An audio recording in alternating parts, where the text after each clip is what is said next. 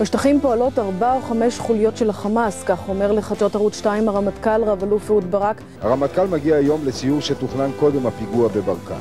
אם הם לא יעמדו במבחן הזה, לפי דעתי לא תהיה הרחבה ואולי תהיה החמרה גם ביחס שלנו אל האוכלוסייה שבשבטנו.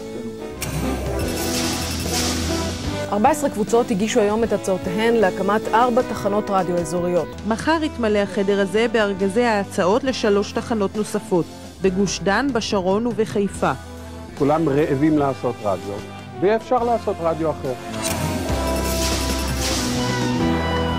עד לפני חצי שנה כדורגלן מוכשר שחקן נבחרת ישראל, והחל מהיום, עבריין מורשע ממרר בבכי על ספסל הנאשמים. אנחנו נכנסים לתקופה לא קלה בכלל, אפשר להגיד תקופה מאוד קשה מבחינתי.